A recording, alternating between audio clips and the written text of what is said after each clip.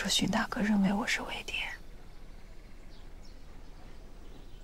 找我做便是了。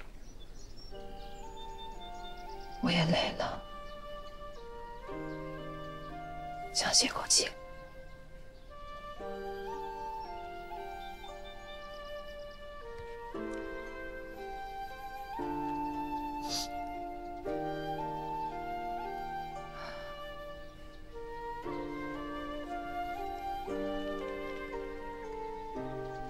谁又不是身不由己啊？但你我这样的人太少了。柳姑娘可还记得曾赠我一只朱棣？我也保证过，不会让这只朱棣离开我分毫。它对于我来说无比珍贵。可我从未向柳姑娘回赠过。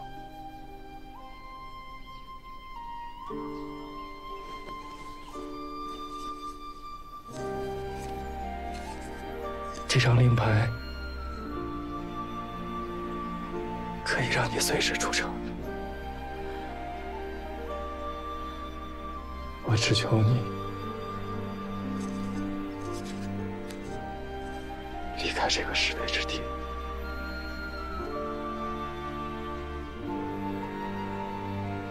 允许淡忘，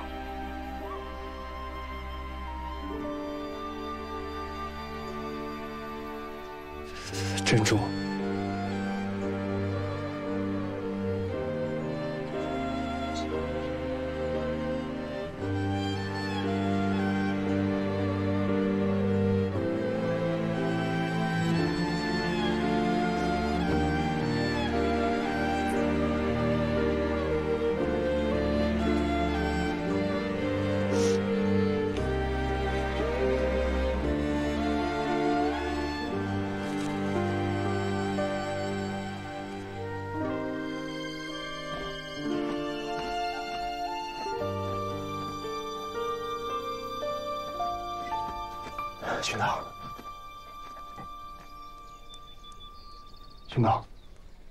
林南就在附近，我让他跟上吧。不用了，那我跟上。我都说了不用了。这件事儿不要跟司职讲。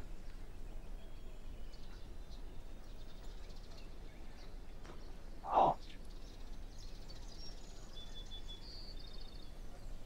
冯曹院大驾光临。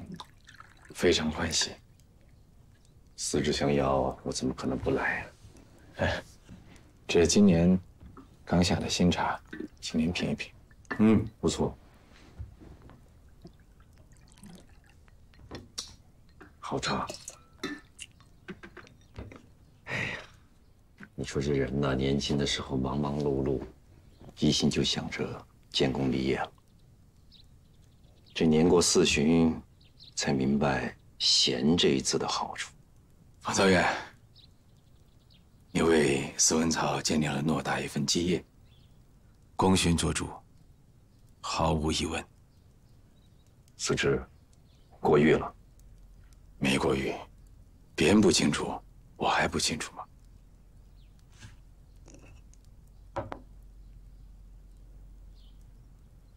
司文草初见之时。筚路蓝缕啊，确实是因为您呕心沥血，开建战、谍战，前古未有之局面，太了不起了。这话在私里说说，彼此高兴就好，出去可不管乱讲啊。记得我在天水的时候，慢慢的让曹魏对我有了信任。我就可以自由的出入书佐台，我就查看了一些文书记录，上面记得清清楚楚，冯曹院在十数年里面料敌机先，情报战屡占上风，打得曹魏措手不及。所以郭刚、郭淮每每提到您，都是赞不绝口，心生敬畏。是吗？嗯，他们怎么说？心机深似海，手段毒如血，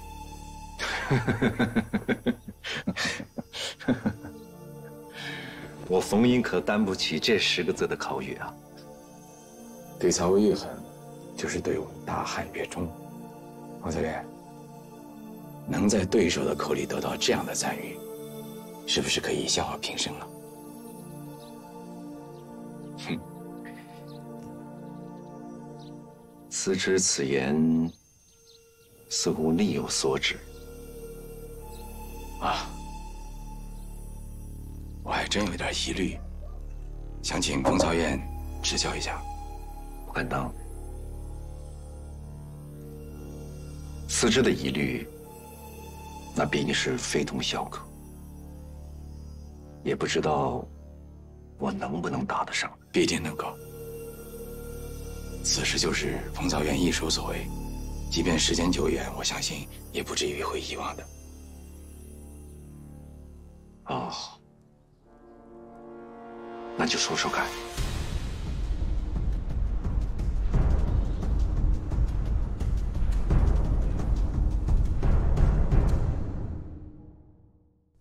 建安二十三年，李严将军驻守资中，马秦高盛因为曹魏策动造反，率领数万大兵围剿资中。只可惜，贼兵虽然声势浩大。但是不懂兵法之奥妙，李严将军兵微将寡，依然取得了上风。记得有这事儿，但毕竟是十年前的事儿，细节记得不是很清楚。不必相信，大致情况了解即可。思之，你的疑虑在哪儿？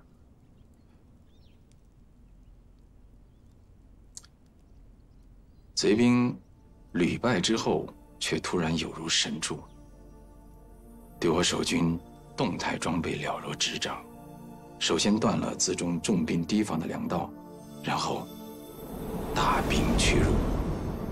我可不愿坐以待毙，我愿为先锋，替将军杀出一条血路。一旦资中失守，贼兵必然逼近成都。当时我记得，先帝是为了取下汉中，将大军屯积在阳平关内，所以回救那是万万不可能了。让李严将军措手不及，不得已选择弃城出逃。封藏院当时身在成都，掌控往来军情，想必可以洞悉一些详情。当然，知道一些。那为什么？为什么？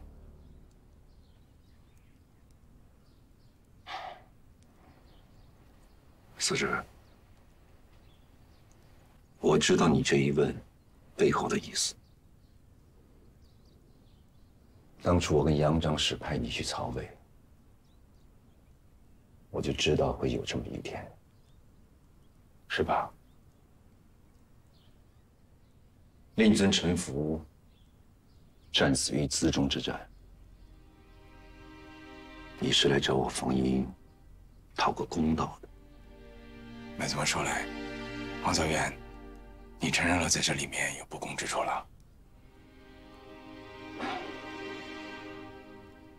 我。我该怎么回答你呢？有些事情在开始的时候是算不到的，就像狄月，你打入五仙道之初，想不到会赔上狄月的性命，你只知道必须完成自己的使命，是吗？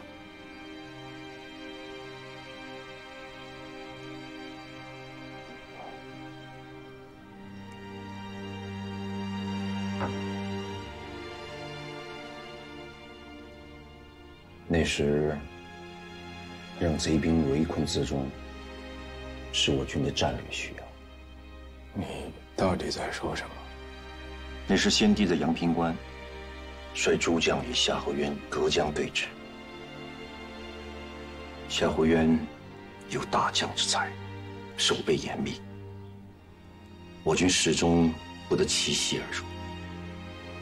而恰巧当时，郭淮策动马秦高声造反，杨仪八百里加急，传先帝密诏，命我冯英将自重的守备情况暗中提供给曹魏。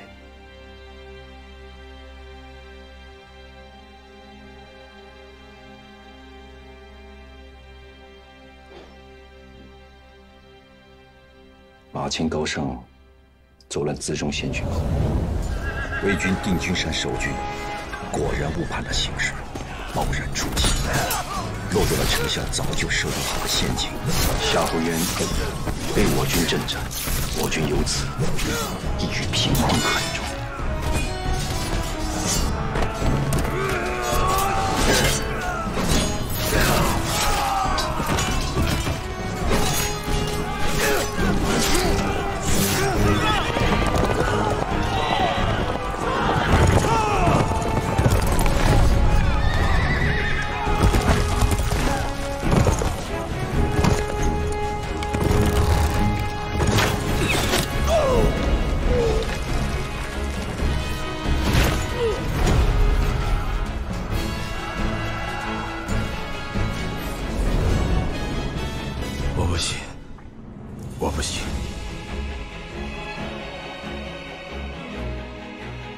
这你信也好，不信也好，事实就是这样。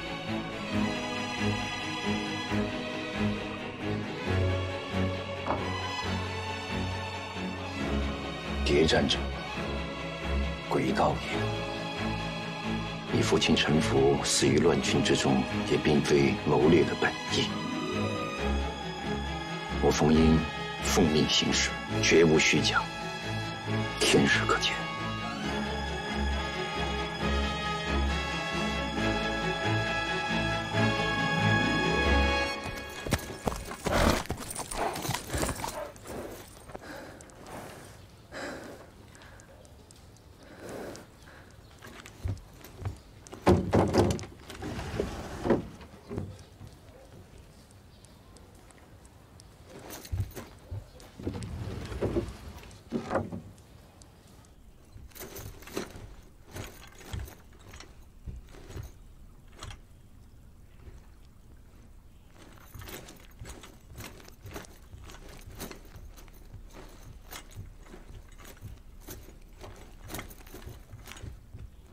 马岱将军，刘义兄，今天这里怎么这么冷清啊？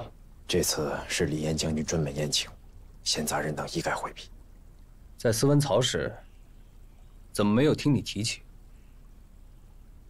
是李岩将军的临时决定，属下也是刚知道。说是有紧急军情。接到陛下诏命后，大将军小苏南安，反复运筹，唯恐有所疏漏，辜负了陛下的重托呀。定军山守备方面固若金汤，李严将军尽可放心。马太将军，佩剑。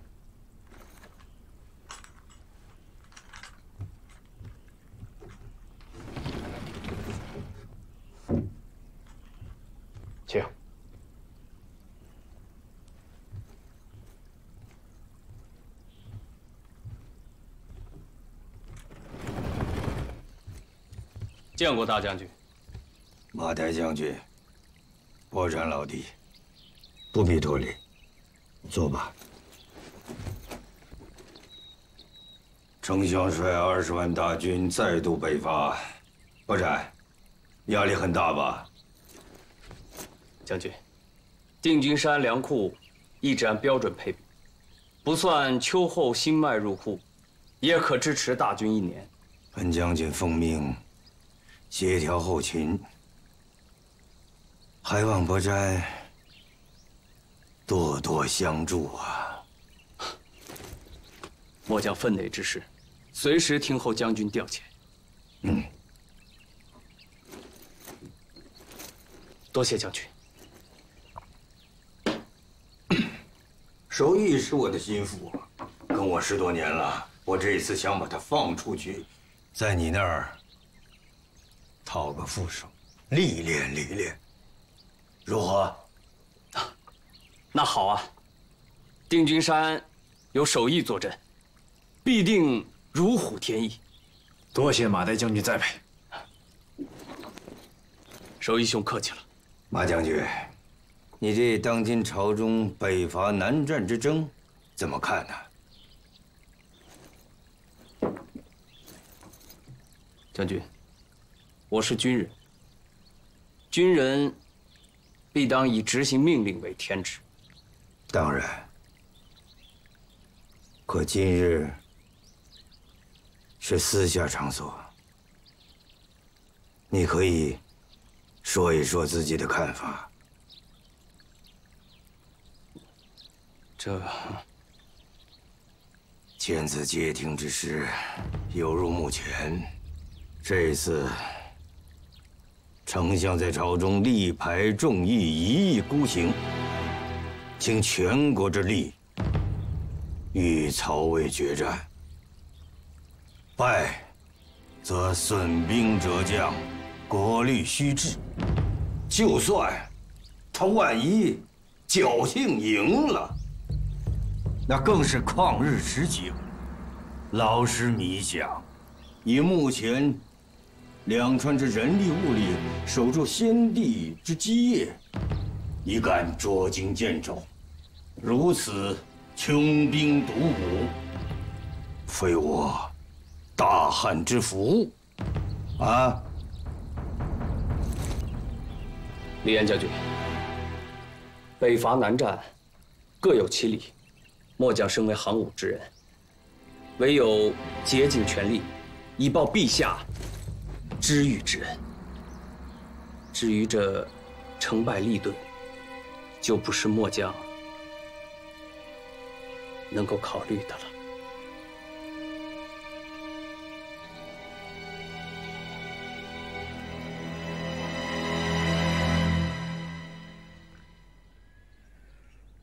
哎，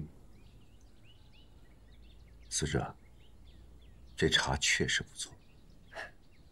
这刚刚品出点滋味儿。那你和郭海勾结，出卖斯文草的机密和外线有效的性命，也是奉命而行？那当然。难道我冯英是能为那些蝇头小利就出卖国家的人吗？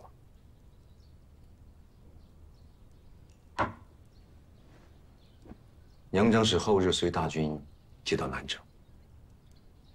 此事不信，可以当面向他求证。我会。王三元，即便你所言非虚，在国家大义之前，我的父亲和无数外线游校的性命，就应该这么死掉吗？就应该吗？没有人该死，但是在国家利益。和个人生死之间，我选前者。我冯英深信这一点。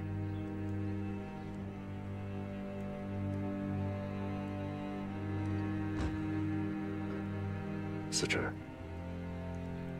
我们为此付出了这么大的代价，绝不能前功尽弃。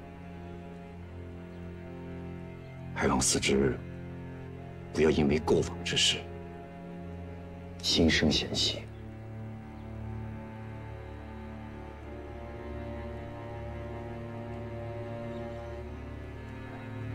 在下多虑了。我陈公一是知道大义之所在的人。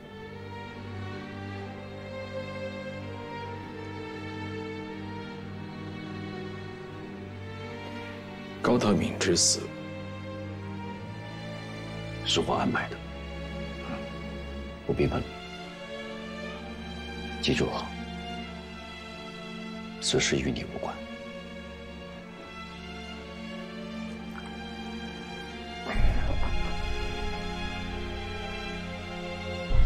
小孩子在杀你，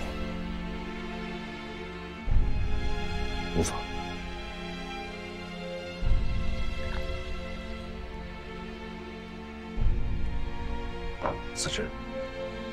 去找一趟杨正史，设法从他那儿找一道丞相府的将军令。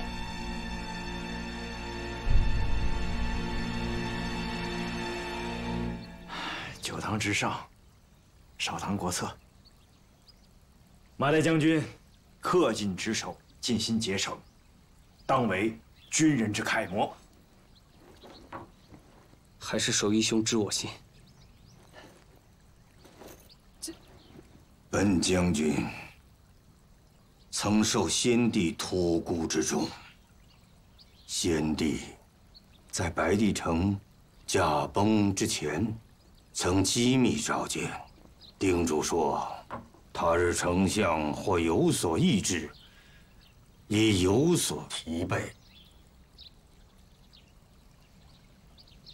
令兄马超在世之时，曾与本将军深交，为此也商讨过多次。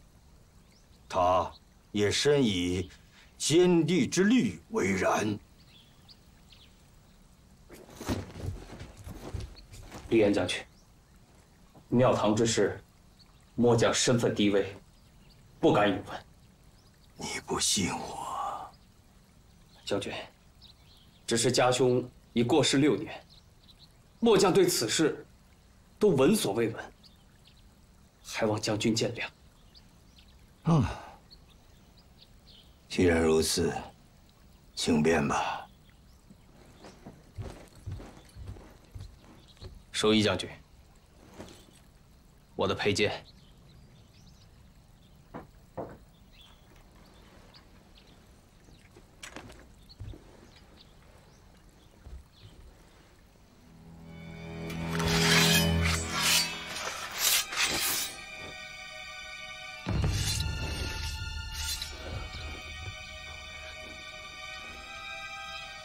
将军是不想让马某走出这个房间了？那就要看你是否回心转意。李岩将军，末将心意已决，朝堂之政，还望将军三思。将军请慢。倘若李岩将军奉密诏讨贼，马岱将军还会这么决然吗？密诏？大将军，马岱将军秉性耿直，非陛下诏命不足以动其心呐。嗯。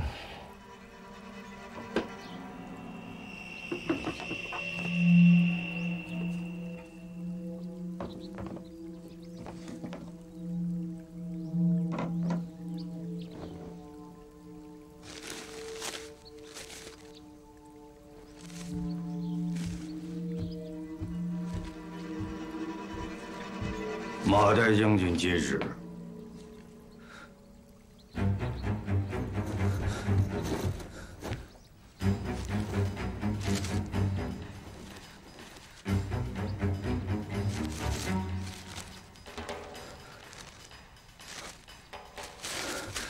李渊将军，末将方才言语无状，还望将军多多海涵。马岱将军。可否奉旨？将军奉旨讨贼，虽赴汤蹈火，末将万死不辞。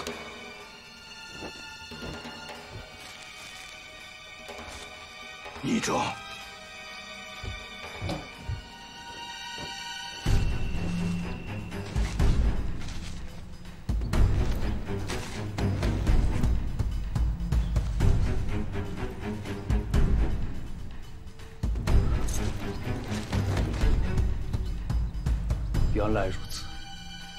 将军有诸将辅佐，如众星捧月，何愁大事不成？让马岱将军签字画押，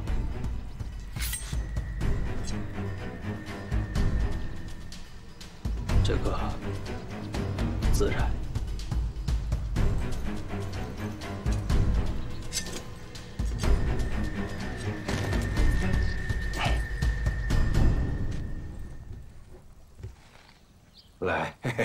为马岱将军的加盟干一杯吧。谢将军。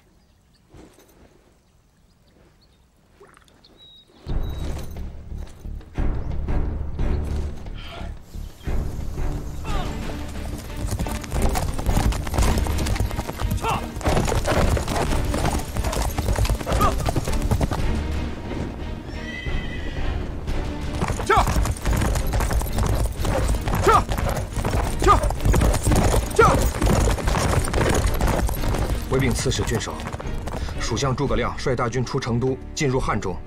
蜀将魏延所部为先锋，先行沿秦岭展开，直指武都、阴平两郡。来得好快。事后还发现，另有一支神秘队伍秘密前行，方向是岐山南侧的出口建威。有多少兵力？还没有准确情报，约有三万之众。你们建军司怎么搞的？到底哪支是蜀军主力？属下即刻再谈。去。是。此次蜀军犯境，兵势诡谲，我暂放弃武都、阴平两郡，退回岐山堡，严守上归、天水一线。一兵未交，先失两郡，恐怕不好交代。东吴西蜀同时犯境，我军兵力不足以分兵把守。收缩兵力，更利于反击。诸将听令，在在在。天水各部三日内全体拔营，在渭水布阵，正面阻击蜀军。遵命。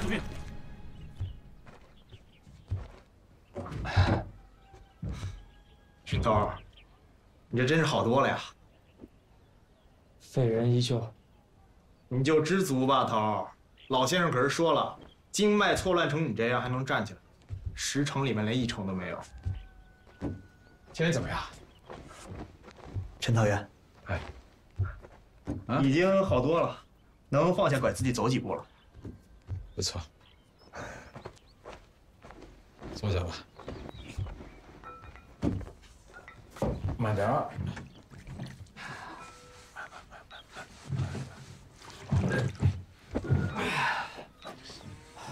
今天见到柳云姑娘了，什么感觉？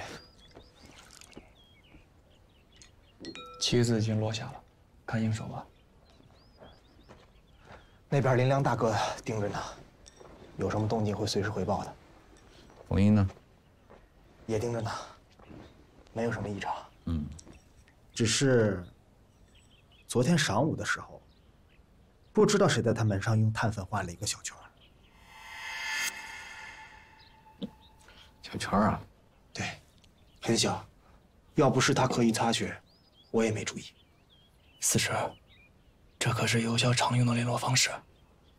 你现在还认为他没问题吗？我觉得今天有件事情还挺蹊跷的。什么事？他安排孙令说是要去青石峪的赤岩峰。青石峪？嗯。他去干什么？说是要找一个道人给算一卦。他安排什么时候去了吗？说是明早一早去，我估计到那块儿，怎么也得四十吧。丞相大军即日抵达南郑，军中事务繁忙，他这个时候求签算卦？他是说寺里这段时间不太平，想去算一卦，看看得罪了哪路神仙。他胡扯！当若冯英有异动，只能采取断然措施。只可惜，我就是个小小的建安司司卫，怕是拿不下他。反正这件事儿呢，李岩将军这边肯定是走不通的。冯英现在已经是李岩将军的座上红人了，那怎么办呀？之前孝和不是跟我提过吗？所以我找了杨长史。拿了这个丞相府将领，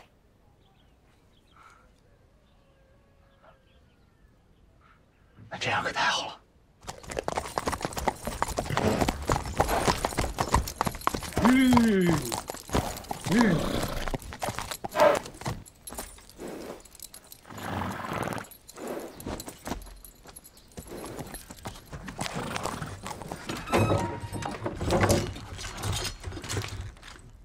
恭迎黄大祭酒大驾，恭迎黄大祭酒大驾。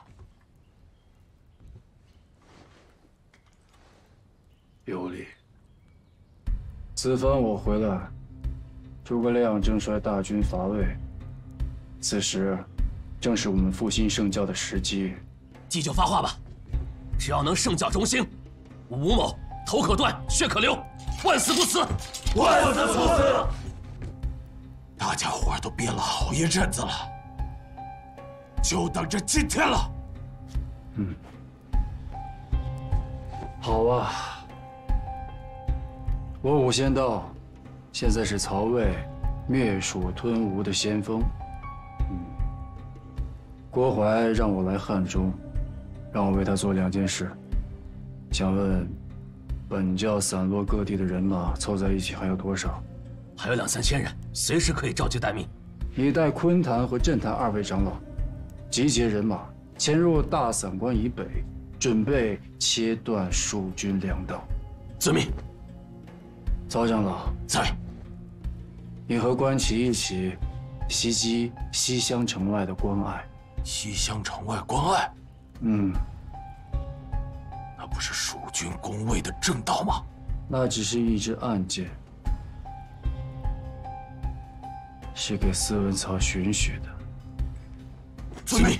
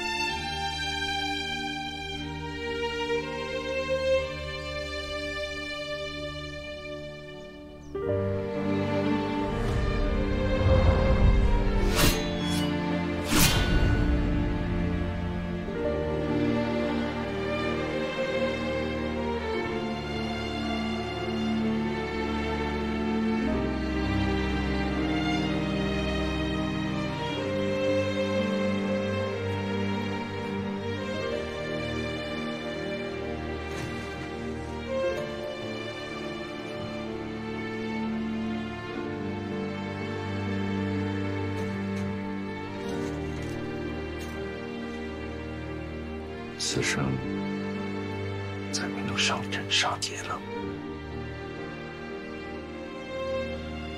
你替我挡了多少明枪暗箭？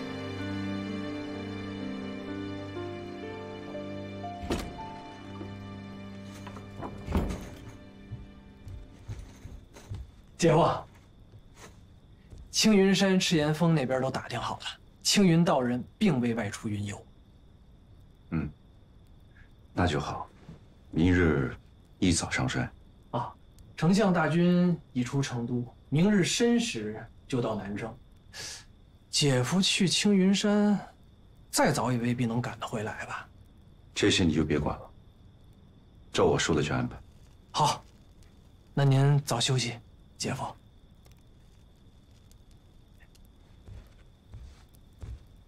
哎，辛德。哎。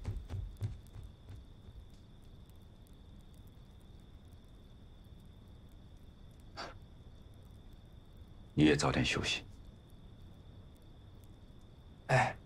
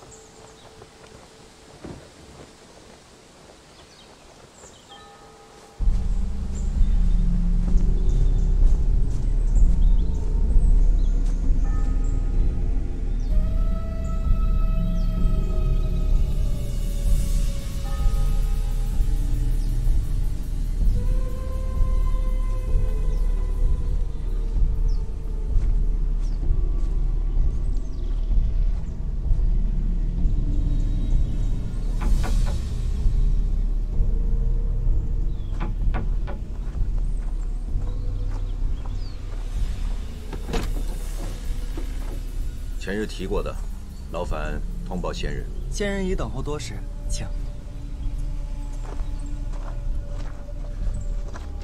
这是补礼。请。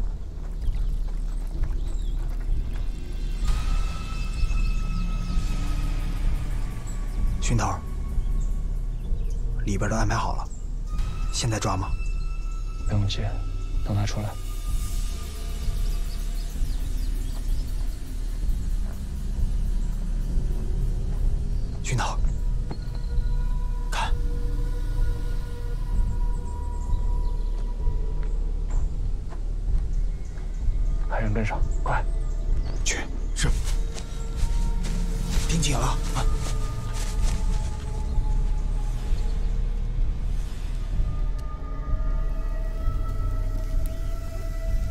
是位官爷啊！在下并未身着官服。山人何以知晓？居遗体，养遗气。先生为官二十余载，已然浑身官气，岂不自知啊？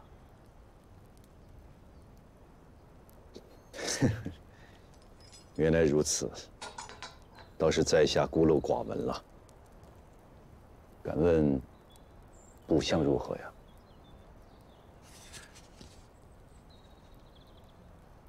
山人，难道有什么不方便说的吗？倘若先生不见怪，那老夫就直言了。怎会见怪？山人直言不妨。三日之内，先生必有牢狱之灾呀！胡说！你知道我姐夫什么人吗？不得惊扰山人。先生如此达观，想必是参悟生死的高人。虽说生死有命，不知是否还可攘解呀？圣人有云：“君子以致命随志啊。”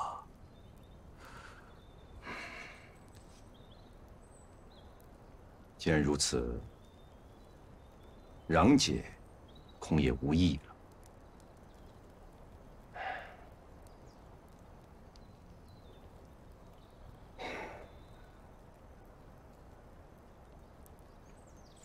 一派胡言，妄称仙人二字。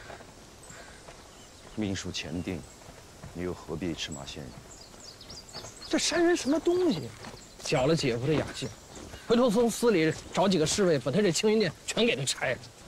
妖言惑众，寻衅滋事，罪不可赦。不许胡闹！本来想讨个好彩头，没想到踩了这狗屎。什么事？站住！司文曹逢迎曹院在此，来者何人？